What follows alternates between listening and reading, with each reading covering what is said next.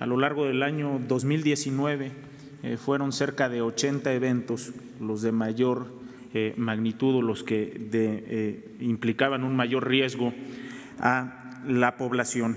la gran diferencia que tiene el manejo de una toma clandestina descontrolada entre gasolina y gas tiene que ver con que el combustible es muy difícil de controlar. Si pudieran poner el primer video que, les hice llegar.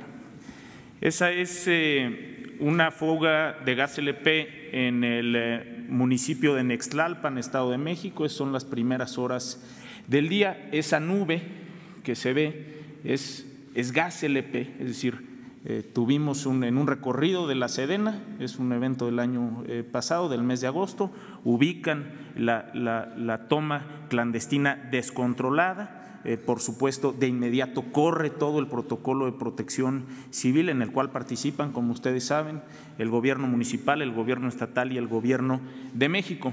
El gas LP viene dentro del ducto, este es un ducto que corre desde eh, Reforma Chiapas hasta Zapotlanejo, Jalisco, es el eh, Cactus Guadalajara. El ducto eh, trae gas LP a alta presión, dentro del ducto es líquido en el momento que se libera, que hay una toma clandestina, baja la presión y se convierte en gas y se multiplica cientos de veces al salir.